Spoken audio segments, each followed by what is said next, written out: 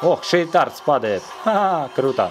Красавчик. Чувак, у тебя пять детей, куда ты прыгаешь?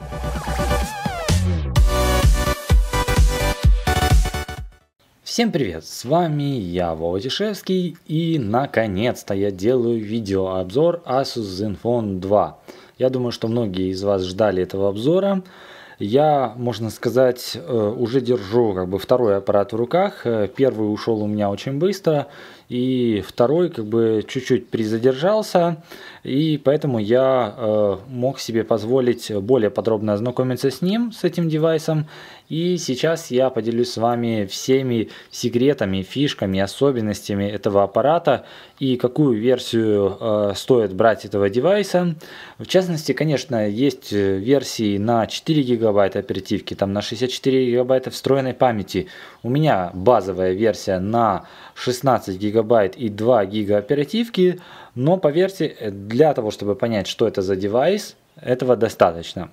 Прежде всего хочу сказать о внешнем виде. Аппарат э, собран достаточно качественно, э, лежит в руке комфортно, несмотря на 5,5 дюймов, э, чувствуется очень даже хорошо. Корпус и материал изготовления тоже достаточно комфортные для использования.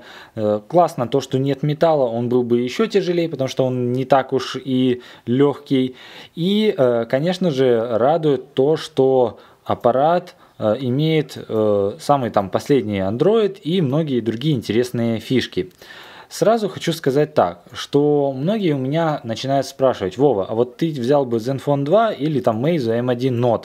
Сразу отвечу на этот вопрос, однозначно Zenfone 2, потому что Meizu M1 Note э, сравним, ну, точно не с этим аппаратом, хоть и по Antutu там он выдает по 40 тысяч, но софтверные как бы фичи и особенности этого девайса на порядок превосходят э, Meizu, и причем, что как бы, ну, конкурирует он как минимум с Meizu MX4, это, это так вот налегке. Давайте как бы по порядку. Прежде всего, это экран 5,5 дюймов, Full HD, э, классный экран. Я скажу, что и углы обзора у него шикарные, и яркость максимальная, высокая. На улице пользоваться комфортно, при солнце, при тучам, при всем. То есть при всем при этом как бы пользоваться аппаратом очень удобно, очень комфортно. Сейчас, э, видите, стоит максимальная яркость, и она, ну, очень даже приемлемая. То есть всегда приятно смотреть, очень э, комфортно и так далее. Что касается минимальной яркости, то она тоже э, практически, ну, может быть, я бы не сказал там прям супер минимальная. Так вот сейчас мы автомат или таким вот образом. Ну, э, она, конечно, может быть, э, в ночное время было бы здорово хотя бы чуть поменьше, но э, если будет стоять темная заставка, то вполне себе приемлемо. Единственное, что если вы будете, к примеру, читать что-то, да, вот сейчас я загружу, э, ну, к примеру, какие-то новости, да, то вот это вот белое будет на ну, как бы в ночью, то все-таки как бы чуть-чуть будет как бы бить глаза. Хотелось бы, чтобы она была, ну, чуть пониже, как бы минимальная яркость. Э, далее, так, сразу же давайте перейдем в настройки, и я перейду еще раз в экран яркость, поставлю автонастройку и вот так посветлее, посветлее, чтобы как бы было все э, вам лучше и комфортнее видно. Wi-Fi. Э, Wi-Fi поддерживает стандарт AC, как вы видите, подключен к моему э, AC роутеру Xiaomi 5G. Все отлично, сигнал быстрый, не прерывается, никаких глюков, проблем нет. Дальше, Bluetooth тоже здесь работает хорошо, качественно. Это, как говорится, само собой разумеющееся. Следующее. Две сим-карты. Э, есть SIM1, э, SIM2. Если я не ошибаюсь, то только SIM1 э, поддерживает 3G, и это написано на обратной стороне, вот там в, на самом корпусе, что SIM1 поддерживает 3G, поэтому я поставил туда как бы Live, но хотя он еще пока что без 3G, Проверял я 3G, работает быстро, комфортно, то есть все нормально. То есть э, тут никаких сложностей нету. Когда переходишь в телефонную книгу, то отображаются последние вызовы, также очень крупными буквами и цифрами написан и текст на, на кириллице, на латинице, и как бы цифры такие жирные, комфортно для людей, кому, может быть, со зрением не очень хорошо, то есть здесь все видно. Плюс ко всему снизу показано SIM1, SIM2, также можно убрать э, клавиатуру, можно ее добавить, Также есть избранные номера, ну и так далее, и так далее. Качество сигнала высокое, ловит э, сигнал тоже хорошо. Что касается динамика разговорного, то слышно собеседника круто. Что касается микрофона, то собеседник меня тоже слышит хорошо. Ни разу никаких нареканий не было. То есть с этим точно никаких проблем э, нету. Далее, это оболочка. Оболочка здесь э, Zen UI от э, Asus. Она комфортная в использовании. Есть шторка уведомлений. Она в Material Design. И также тут э, целый ряд уведомлений. То есть, к примеру, я сделал там, совершил покупку на 8.99 с WebMoney. Раз мне там пришел код. Погода, подсказки, Инстаграм, видите, Антон подписался на вас. Круто, спасибо, Антон, за то, что подписался. Там преимущество солнечное и так далее. Также можно с верхнего меню можно вызвать э, шторку быстрого доступа к э, каким-либо приложениям, в частности, к примеру, фонарик. Фонарик здесь достаточно яркий, классный, э, не нужно устанавливать с троянами с Play Market, а здесь все уже как бы готово есть. Также возможность очистки оперативной памяти от запущенных задач и, как вы видите, стало там свободнее или наоборот меньше стало. Ну, в общем-то, можно такое делать. Э, быстрый запуск калькулятора, он достаточно стандартный, ничего как бы сверхъестественного нету. Далее, что хочу отметить, есть NFC, если вы знаете, как его использовать, у вас есть, к примеру, электроника с NFC или может быть где-то еще, то без проблем. Также с зажатием на энергосбережение вы можете зайти в режим, э, где вы можете э, как бы работать с энергосбережением, то есть можно включить режим экономии энергии и э, так вот пользоваться аппаратом. Кстати, в режиме экономии энергии аппарат работает достаточно шустро, не лагает. Единственное, некоторые эффекты поисчезали, а так, в общем-то, работает э, достаточно быстро. Ну, я в основном пользовался оптимизированным один раз, когда я ездил в Киев, э, то тогда и у меня на том Zenfone 2, который был у меня первый, э, я затестил режим экономии энергии, то вполне себе как бы приемлемо, круто. Дальше. Есть целый ряд стандартных приложений, ну, как бы установленных, то есть типа мастер настройки, там интеллектуальный режим, вот музыка, фильмы, игры, речь. Вы можете его дополнительно настраивать в зависимости от того, э, что вы делаете. Э, также есть там менеджер автозапуска, стандартная галерея. Галерея достаточно комфортная в использовании. Э, ну вот я сюда сделал тут немножечко снимков, как вы видите. Э, по камере я отдельно еще немножечко скажу. Э, Все очень круто, комфортно. Стандартный календарик тоже меня вполне себе устраивает. Э, и, к примеру, мы сейчас переключим на месяц, тоже вы видите все четко, круто. Вот, к примеру, у меня уведомление, что в 18 часов мне будут звонить, у меня будет звонок с, и беседа. Ну, подробности беседы я раскрывать не буду. И тут мне пришло уведомление, какой-то email. Раз, берем, стираем. Вот, кстати, круто то, что э, в стиле материал дизайн идет еще и э, шторка запущенных задач, то есть э, как бы окно. Можно э, некоторые окна, что мы с ней сделаем? Здесь как бы перейти непосредственно в работающее приложение. Можно также э, блокировка приложений определенных. Вот, э, и убрать все полностью приложения. Оп, все, все убрались. Очень быстро, круто, комфортно. Тут никаких нареканий нету. Кстати, сама оболочка тоже работает очень шустро. Есть целый ряд поднастроек, особенностей. Зажимаем на главный экран. Тут у нас появляется приложение виджеты, редактировать, обои, эффекты прокрутки, темы. Даже есть темы различные. Ну, э, тут, правда, доступно немного, но э, все равно как бы сам факт, что можно как бы грузить темы, тоже меня радует. А, также есть возможность как бы настраивать параметры, настройки системы, и также тут еще можно шрифты э, поставить 5 звезд разработчикам. Вообще, короче, обратная связь и помощь. Все, что нужно, как бы есть. Э, круто. Дальше, следующее, это железо. Железо это важная часть, в частности, так как это стандартная базовая версия, как я и говорил, здесь 16 встроенной памяти и э, 2 гига оперативки. Есть у Asus на 4 гига оперативки 32 встроенной. И также есть у Asus 4 гигабайта и встроена 64 памяти. Но есть еще как бы более бюджетная 5-дюймовая версия Zenfone 2, там где э, есть на тоже там слабеньком Intel или же на Qualcomm Snapdragon 410. Недавно анонсировался Zenfone 2 как бы с HD экраном, но как бы вот с HD экраном даже не рассматривайте. Вот, э, хотя как бы можно рассматривать в конкуренции с Zenfone 5 моя версия, которая у меня набирает 41 138 в Antutu, что вполне себе приемлемо. Смотрите, что забавно. Здесь стоит 32-битный Android, почему-то, не знаю почему, но э, процессор-то здесь 64-битный. Э, я думаю, что э, потребуется как бы обновление, подшаманить ручками, чтобы здесь был 64-битный э, Android просто вручную поставить. Я сейчас об этом расскажу, почему вручную, почему не автоматически. Intel Atom Z3560, PowerVR G6430 графический чип, Full HD экран, 13 основная камера, 2 ГБ оперативки и, э, как видите, процессор 64-битный, 4 ядра по 1.8, э, чего с головой хватает для э, таких игр, как World of Tanks Blitz и всех остальных, чтобы аппарат тянул их вполне себе приемлемо. Танки минимум 40 FPS при супер перегретом состоянии, когда ты уже там больше полчаса играешь. А так, э, игры идут хорошо, я специально видео по этому поводу тоже сниму. Далее, э, что касается автономности. Э, производитель заявил о том, что здесь аккумулятор 3000 мАh, автономность у аппарата выше среднего.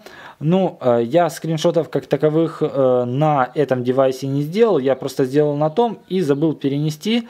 Но скажу так, что э, по аккумулятору аппарат заряжаю через день, при том, что активно используется сеть, Wi-Fi. Э, здесь постоянно как бы используются звонки и э, периодически там World of Tanks, да, то есть для теста, э, то я скажу, что годная здесь батарея, очень даже Э, годная, э, но если вдруг вам потребуется дополнительная автономность, то всегда вы можете включить себе режим энергосбережения, шторка, включили, это не проблема, это всегда легко сделать. Э, советую даже иногда, если вы, к примеру, там в офисе или дома где-то, то можете просто включить режим энергосбережения, чтобы у вас как бы это, и просто здесь яркость выставите на максимум, и все. То есть процессор будет меньше тянуть, а дольше будет работать. В общем-то, прикольная тема. Э, Все это ну, удобно. Режим энергосбережения, плюс еще, видите, геоданные включены, передача данных.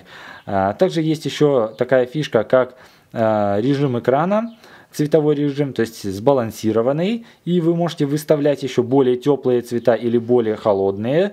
Также есть режим чтения, там где э, экран немножечко желтит, для того, чтобы было более комфортно для глаз. Ну, если посмотреть э, режим для чтения, ну, сейчас я, видите, поставил еще вот в этом режиме, да, видите, немножечко желтит экран, вот даже вот эта верхняя шторка стала э, чуть более желтой, даже сейчас он аж перегрузился. Э, яркий есть режим, и пользовательский он не влез. ну, вы тут можете сами вручную выставлять, насколько вам нужно. Вообще можно поставить, о, вот эту штуку я не видел. Слушайте, это обалденная тема. Если вы хотите, чтобы у вас был типа черно-белый, а ну давайте мы зайдем в Chrome, и сейчас я э, что-нибудь запущу. Вот какие-то новости запущу. Слушайте, читать, это же здорово, можно читать. Оу, ха, круто. Ну, я просто не обращал внимания, тут прям есть можно насыщенность. Давайте сбросим параметры к умолчанию, да. Ну и цветовую гамму тоже вы можете подстроить, то есть чтобы экран как бы по цветовой гамме был более вам комфортен. Это, кстати, круто, то что есть такая возможность подстройки. Давайте я просто поставлю сбалансированный, и я думаю, это будет самый оптимальный вариант. Дальше, следующее, что хотел бы сказать э, по э, динамику. Динамик здесь достаточно громкий, э, работает э, всегда безотказно в плане того, что я всегда слышал, как э, там собеседник мне что-то говорит, если я включаю громкую связь, или же я слышу, когда телефон звонит, даже если он в сумке.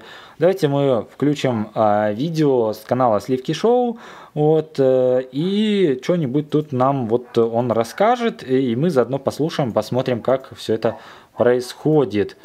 Волшебное окно времени, позволяющее нам заглянуть в прошлое. Чем дальше мы смотрим, тем дальше назад во времени мы видим. Звук приблизительно, ну, как бы такой выше среднего. Плюс ко всему, а, видите, он пишет как бы через петличку, то есть давайте мы а, что-то другое просто для отображения а, Давайте я включу просто музыкальное видео, потому что, о, смотрите, звук намного как бы сильнее стал, когда музыкальное видео. И, э, давайте. Звук чистый, красивый, вот, э, громкость, как я говорил, выше среднего. Углы обзора, ох, шейтарт падает, ха-ха, круто, красавчик. Чувак, у тебя пять детей, куда ты прыгаешь, рискуешь? Да. А, отображается качество YouTube, видите, Full HD, то есть определяет его как нормальный экран, то есть иногда бывает просто э, как бы Full HD экран, а возможность только э, в HD смотреть.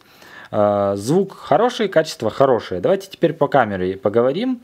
Вообще, как бы про камеру нужно тут отдельно рассказывать, потому что камера здесь очень многофункционально навороченная. Э, сразу хочу сказать, что Камера имеет целый ряд режимов. Э, авторежим, HDR, улучшение портрета, суперразрешение, слабое освещение, ночь, глубина резкости, эффект, селфи и так далее. То есть целый ряд режимов, видите, то есть огромное количество.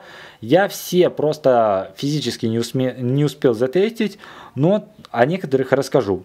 В частности, хочу сказать о авторежиме, который является самым плохим режимом здесь. Э, в частности, в моей прошивке, которая здесь установлена сейчас, в авторежиме э, режим съемки, это глюк, баг э, камеры, 3 мегапикселя максимально.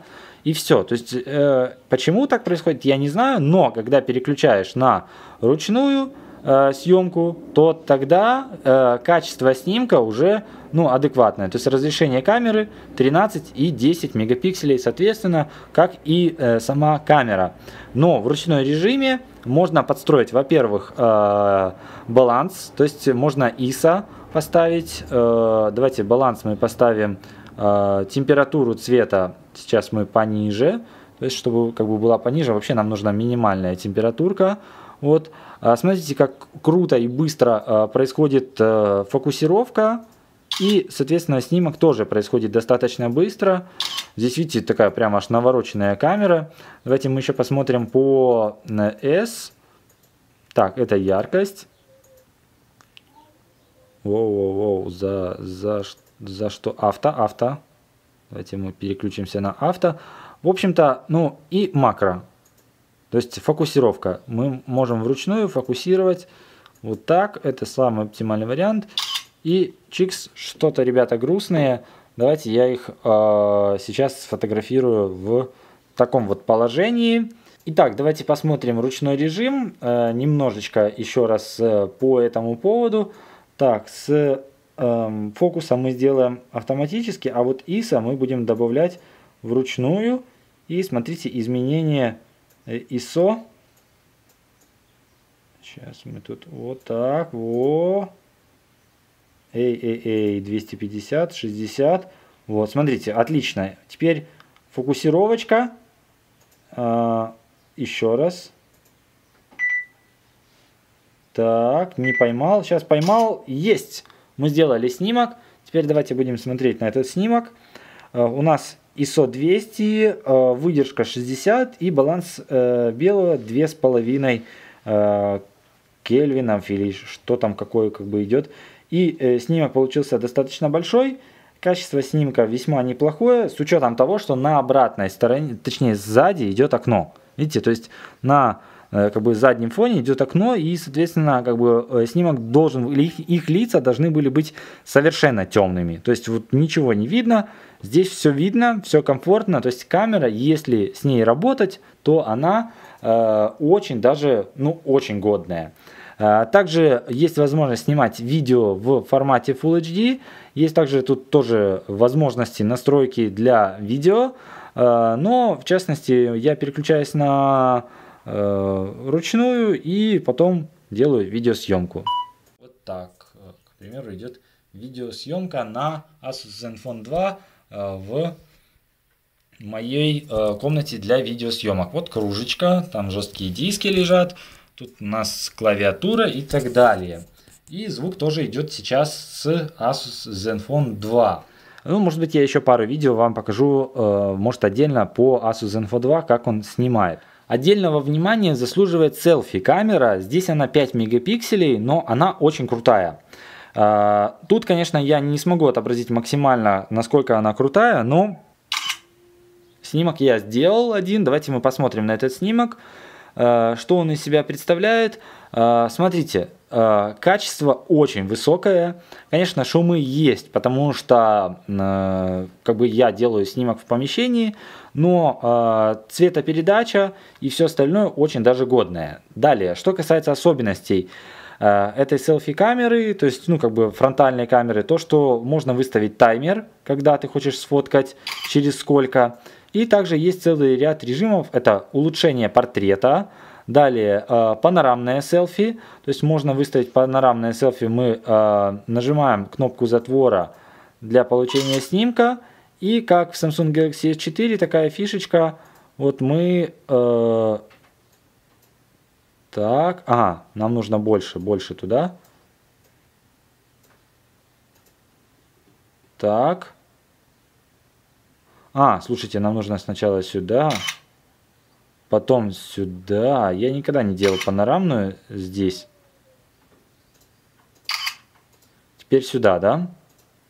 Это очень интересно. Надо будет попробовать. Представляете, сколько снимков делает и потом склеивает это все. И получилось у нас панорамное селфи. Вот такое нужно было делать на YouTube Content Day нам. А, надо было сказать ребятам из YouTube, что э, вот Asus Zenfone 2 делает офигенное панорамное селфи. Смотрите, очень много объектов захватило, то есть э, широкоугольно. Э, да, конечно, ну, я просто нахожусь в таком положении, что у меня не очень-то хорошо получилось э, заснять, но вот если мы посмотрим объекты, которые слева-справа, да, то очень даже годно получились. Э, с этой стороны тоже, вон там дверь, все это, ну, круто. Э, фронтальная камера мне очень нравится, есть даже режим HDR, она снимает видео Full HD, при слабом освещении, в общем-то, э, снимки очень качественные получаются. Я, может быть, в конце видео покажу вам просто набор из снимков на основную камеру и на фронтальную специально для вас. Так, что еще можно сказать? Э, давайте мы зайдем в настройки. Тут есть еще целый как бы, ряд особенностей, которые есть у Zenfone. Давайте дальше. Э, ну, по передаче данных, это понятно, что можно использовать NFC. Здесь есть NFC датчик. Также можно настраивать VPN, делать режим модема. Это понятно, да? Дальше. Э, режим Easy. Очень интересный режим. Это, ну, типа, как бы простой режим, как в, не знаю, в Samsung, где угодно он вот, вот все, это все. То есть режим Easy, он очень простой. Давайте мы сейчас его выключим, потому что он нам ну, не нужен. А, нам Easy режим явно не нужен. А, дальше, давайте еще посмотрим по настройкам. Э, экран, я уже говорил, там спящие режимы, заставки, размеры шрифта, яркости, все как надо. Далее, э, звуки уведомления, тут вы уже тоже все это настраиваете. Тут Нормально, нормально по звукам уведомления. Кстати, хочу отметить интересный факт, что смартфон э, блокируется двойным тапом и также разблокируется двойным тапом. Единственный момент то, что невозможно заблокировать его, когда есть куча значков. То есть даже когда виджет, видите, то есть мы включаем виджет, но никак не блокируем аппарат. Поэтому если вы э, любите э, функцию двойной тап, то рекомендую вам оставить э, свободное поле на каждой как бы, страничке, там, например, нижнее поле или среднее или верхнее, свободное для того, чтобы с любой части экрана, то есть вот видите, здесь не можем заблокировать никак, то есть нужно переключаться вот сюда и уже тогда э, происходит блокировка. Э, это тоже удобная как бы фича. Э, давайте мы сейчас, э, я все позакрываю, отлично. Давайте мы еще по настройкам пройдемся, потому что не все закончил я. Э, по приложениям. Устанавливается приложение на карту памяти, это радует, это прям ну здорово, хорошо. Вот, э, к примеру, здесь мы можем переместить на карту SD, ну, по крайней мере, все у меня игры устанавливались на SD-карту, то есть или пере, ну, перемещались, то есть танки точно на SD-карте и все остальное тоже перемещается. Дальше, э, по э, приложениям я уже сказал, по памяти, как я и говорил, здесь встроено 16, доступно 11.31, но у меня стоит карта памяти, как вы видите, и э, все отличненько. Вот, все доступно, удобно, комфортно, никаких сложностей нету. ОТГ поддерживает, работает, геопозиция, то есть нужна вам или нет, вы тоже можете ее включать-выключать. И, э, в принципе, все по этому поводу. Э, что касается обновлений, э, по Zen UI обновления, то это обновление самих приложений, а самой прошивки, так как у меня аппарат CN, но здесь стоит прошивка VV, то есть вы можете посмотреть номер сборки WW, она не получает обновления по воздуху. Я сделаю отдельное видео и постараюсь кинуть в описании ссылочку, как прошить или точнее обновить аппарат на более новый Android, где будет появляться всегда новая как бы версия прошивки, вот, и будет ли, к примеру, сохраняться данные, если вы прошьете на более новую версию, обновите. Все это как бы будет, сейчас видите, 5.0 Android, в общем-то, короче, это в отдельном видео я специально сниму и покажу вам, как все это делается. Э, ну, я думаю, что на этом можно заканчивать видео про данный аппарат, потому что я, ну, реально достаточно много рассказал. Э, сразу хочу сказать, что аппарат реально стоит своих денег. Это тот аппарат, который стоит покупать, то есть 240 там, там 235 по акциям где-то можно там найти, то есть тире 350 долларов в зависимости от версии, то есть э, то есть 32 гигабайта 4 встроенные и 64 гигабайта 4 э, оперативки. В общем-то, короче, все эти вот функции по версиям, короче, в общем-то, все стоит своих денег. Это реально тот аппарат, который стоит своих денег. И как бы в завершении еще скажу такой момент, то что я все аппараты даю жене посмотреть. Вот этот аппарат, она сказала, я вот такой себе хочу. То есть это очень большой показатель. Вот. И еще, знаете, что я забыл вам показать? Э, я это в распаковке показывал, чехла. Вот, э, есть э, такой вот как бы чехол Милкин. Может быть, есть какие-то фирменные чехлы, но фирменные чехлы достаточно дорогие. Вот, есть еще вот такая функция, которая, эм, ну, просто тоже интересная. Это возможность как бы управлять с окна телефоном. Вот не все действия можно делать, но тем не менее что-то можно делать. То есть камеру можно, э, погоду узнать, дату узнать, э, время, пропущенные звонки. То есть открываем, оно исчезает, закрываем, появляется вот таким вот образом.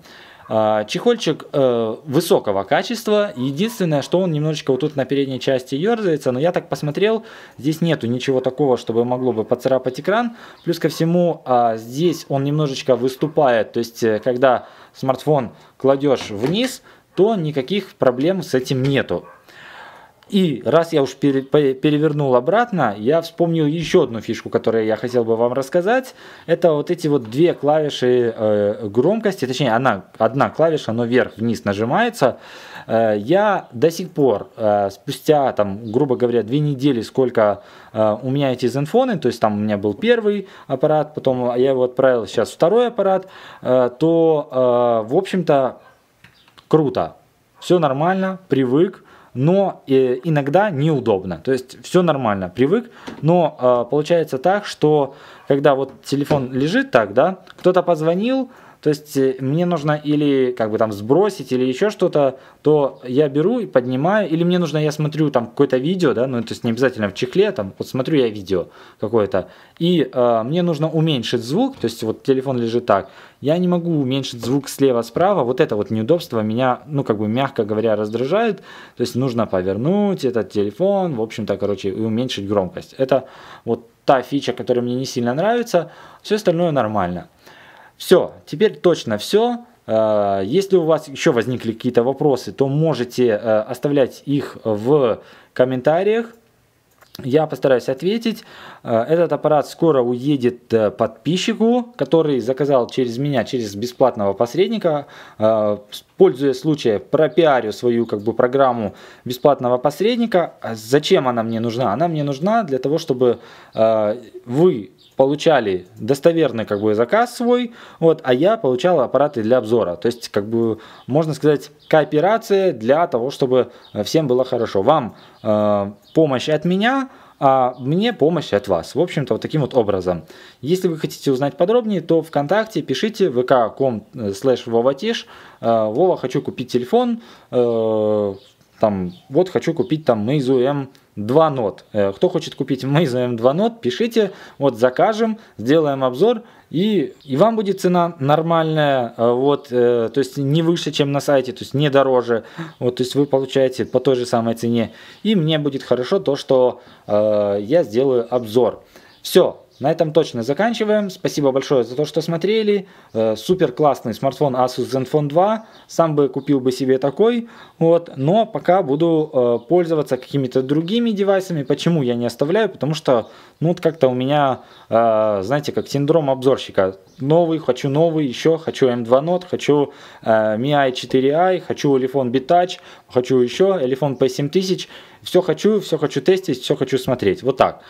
Все. Всем пока, до скорых встреч в новых видео.